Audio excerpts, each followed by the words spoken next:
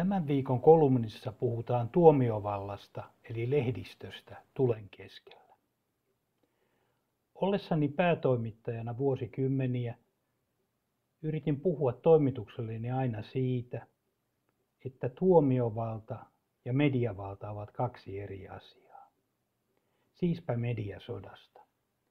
Donald Trump käy harkituksi median kimppuun tietäen, ettei hän pääsisi vähällä sen kanssa leikatessaan totuutta ja elvyttäessään vain omaa brändiä. No mitä väliä? Yksinvallan estämiseksi on valtioihin kehitetty toisiaan tarkkailevien instituutioiden tasapaino. Tässä vallan kolmiako-opissa vallan väärinkäytön estämiseksi lainsäädäntövalta, tuomiovalta ja toimeenpanovalta, siis hallitus, on erotettava toisistaan sanoi Montesquieu. Myöhemmin syntyneen käsityksen mukaan on olemassa neljäskin valtiomahti, lehdistö, media.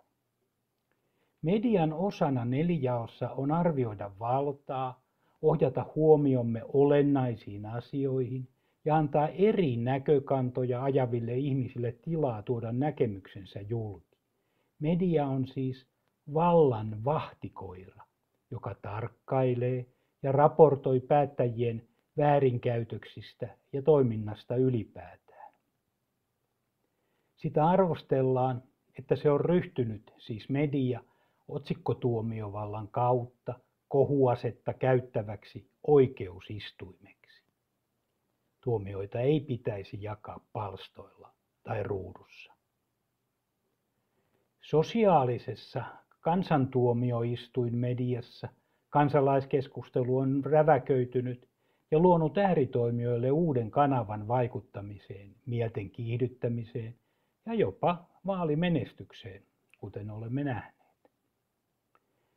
Samalla uusi media on toki mahdollistanut suoran kansalaisvaikuttamisen, lähidemokratian, kylä- ja kansalaistoiminnan monia uusia, aivan erinomaisen hyviä muotoja. Toinen pointti. Trumpin media.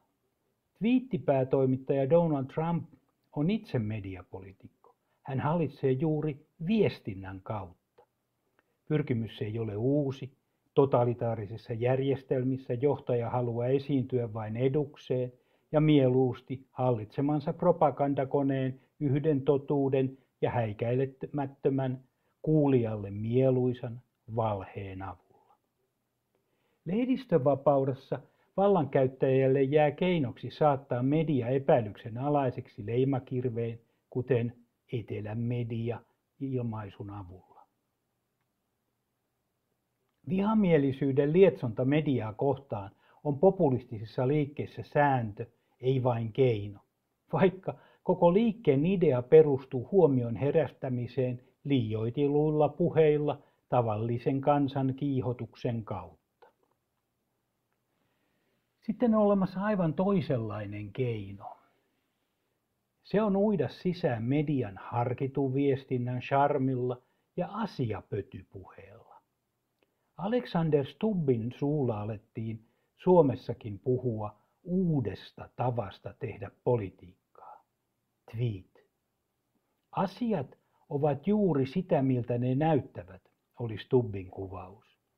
Tämä uusi politiikka tarkoittaa, että vanhan ajatuksen politiikasta, siis valtiollisiin, valtioiden välisiin tai yhteiskunnallisiin asioihin näkemykseen tai aatteeseen pohjautuvana toimijana, jolla pyritään vaikuttamaan tai jolla hoidetaan niitä, korvaakin nyt julkisuuteen syntynyt ja tuotettu mielikuva asiasta. Totta on mielikuva, ei tosiasia. Koko politiikka onkin näin muuttunut viestintästrategiaksi. Trump on ja Stubb oli narsistin valtaa vahvistava reality show kaikessa, mitä he puuhaavat, puhuvat ja tekevät. Kolmas pointti. Lehdistö nukkui tämän kaiken keskellä. Lehdistö voi Yhdysvalloissa syyttää itseään, vahtikoirasta tuli Trumpin sylikoira. Se lähti Trump-showhun mukaan vetäjän isoja oh ja ah otsikoita edesauttaen Trumpia. Yhdysvalloissa tutkittiin median vaalikirjoittelun sisältöä. Vaalien asiakysymyksistä, siis siitä, mistä todellisuudessa oli kyse, kirjoitettiin vain murtoosa verrattuna muihin vaaleihin. Esimerkiksi vuoden 2008 vaaleissa, jolloin Obama valittiin, kolme suurinta televisiokanavaa käytti asiakysymyksiin sentään kolme tuntia 40 minuuttia, kun nyt vain 36 minuuttia. No, Trump myi hyvin. Siispä keikkaan mukaan, kelkkaan mukaan, jotta huomioarvo laskemissa pärjättäisiin, ajatteli lehdistö. Tehtiin kaikissa välineissä näin, lööpit, mutta vahtikoira haukkui vain ohiajavaa autoa, unohtaen sen vahtitehtävän. Neljäs pointti kotimaasta. Puun kampituksesta. Hallitus alkaa mädäntyä jo puolivälissä sisältä, kuten Matti Vanhasen hallitus vuonna 2010 ja Kataisen hallitukselle vuonna 2014 kävi. Puukot iskettiin ensi alkuun uusliberaalin, ulkopuolisen, rikkaan Anne Pernerin selkään tämän aulistisen kääntäessä. Paula Risikko, kokoomuksen ikuinen, hienostunut puukottaja, häjy, loi kolme senttiä ensin nirhaten ja alkamalla epäillä yksityisyyden turvaa näiden seurantalaitteiden osalta. Vaikka meillä kaikilla on jo kännykkänä seurattava musta laatikko taskussamme. No, pian Risikko esittää hallituksessa lisävaltuuksia poliisille ja supolle kansalaistiedusteluun. Keskustassa Mauri Pekkanen huomasi ministerihaaskan ja esitti yhtiöittämisestä ja muutamista muista yksityiskohdista viattomia kyselyjä, kyselyjä Facebookissa selkääniskukysymyksiä käyttäen. Paavillinen Timo Soini puolestaan hurskasteli Hallahon viimassa kevyesti, mutta nokkelin sanoin linkkari kädessään valmiina iskuun. Varainvartija ja asemavaltuuspäällikkö Pentteri Orpo löi liikenneuudistuksen kuoliaaksi Lapin leukulla koko tontinvartijan voimalla syrjäytetyn ministeriönsä lumeviestinnän avulla vahtiessaan tonttia. Ja sitten viidenneksi. Tämän kaiken seuraukset. Ärnerin rouva, Sipilän valittu voima, nöyrytettiin kuin Pekka Himanen aikanaan. Ja taas hyväkin sisältynyt selvitys lentää kokonaan roskikseen. Jäämme taas jarruvaunuun, kun itse ohjautuvat autot, uudet liikennepalvelut, kimppa-autoilu, älykaupungit tulevat.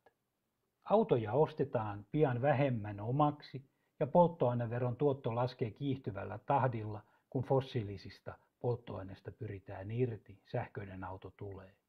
Uusi perintätapa olisi tarvittu väistämättä. Mutta lehdistöä ei kiinnostanut, mitä ehdotettiin, vaan itse prosessi, kuinka tehtiin ja kuinka junailtiin, joka toki oli yksityistämisideologiassa ministeri Berneriltä hölmöä, mutta samalla kaatui myös huomisen ratkaisuyritys ja mahdollisuus päästä etujoukkoon uuden tekijänä. Suomessa valittiin kvartaalitalouden malli, eikä ketään kiinnostanut uuden tekeminen. Kyllä, epäonnistuminen oli ministeri Bernerin syytä. Toki ansiomitali voi ottaa myös media. Syypää äkkipysähdykseen oli kuitenkin poliittinen pysähdystila – huomisen ratkaisujen haku eilisestä teollisuusyhteiskunnassa taas kerran. Mistä on tullut uuden alasampujia ja edistyksen puukottaja junkkareita. Liikenteen raju muutos on päällä, mutta Suomi kuuntelee putkiradiota saunalla, kun lehdekkäät eivät selvityksiä viiti lukea. Puremaan pääsee lööpillä helpommin ja ilman vaiva, Tuomarin asenne riittää ilman riippumattomuutta. Tärkeintä ei ole miten on, vaan mielikuva, joka annetaan. Thank you.